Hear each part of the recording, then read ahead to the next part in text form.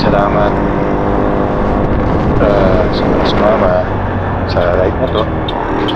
And then, uh, thank you, thank you sa mga subscribers ko. Maraming salamat sa inyo. So, yun o. Uh, nakita tayo ulit. So, sa mga hindi pa nakapag-subscribe, uh, nakakapanood ng videos, ni Roland, it's a Grandad's channel.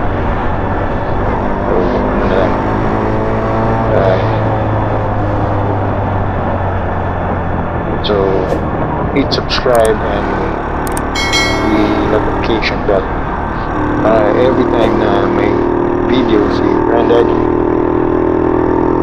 so mananotify kayo. Okay?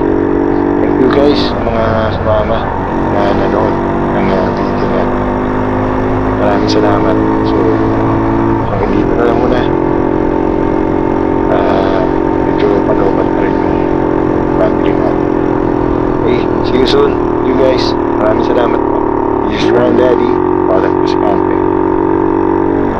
Granddaddy,